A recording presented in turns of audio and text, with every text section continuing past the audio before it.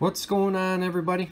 I got a quick one for you today. I picked up some cool vintage pieces uh, from a friend of mine, Stackmaster G. You might be familiar with him. Um, used to be on YouTube quite a bit, mostly on Instagram these days.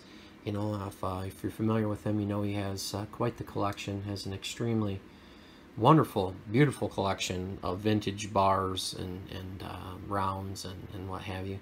He has uh, really, really nice stuff. Well, he had some things up for sale on Instagram, and I went ahead and contacted him and, and picked up a few of them. So that's what I'm going to share with you today.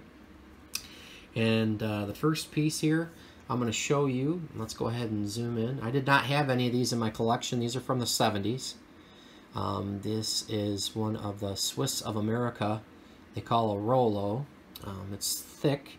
It, this one is about a quarter inch thick and these come from the Draper Mint from Draper, Utah. Again, these were made in the 70s and I've always wanted to have these in my stack so I had I had a chance to pick up some from him. I was real happy with that. These are 23.5 millimeters and like I said a quarter inch thick and these are pretty darn cool I gotta admit these, I like the chunky rounds. These are nice and smooth on the sides. And I went ahead and picked up a few from him. I picked up some of these Swiss of America, as you can see. And uh, there's a little bit, little bit of difference there between this one and this one.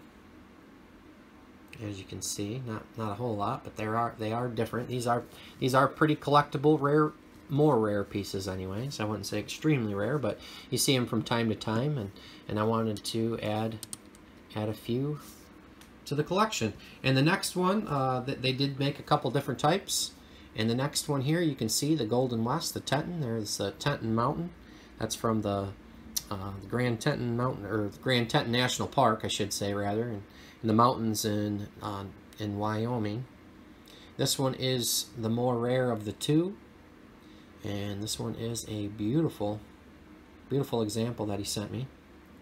And I did go ahead and get a, um, a couple of these as well.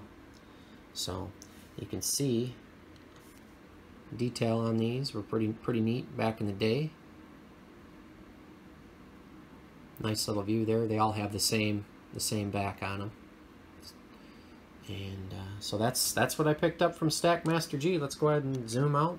So I uh, again I, I enjoy the vintage pieces and um, this was my first transaction with him and I've known him known him for, for quite a while just just talking back and forth a little bit on um, through the social media.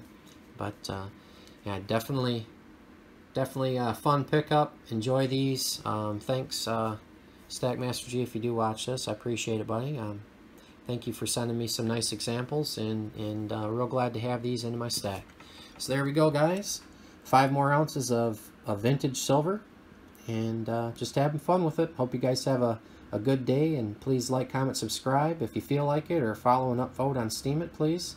And uh, I appreciate you guys. Thanks for stopping by.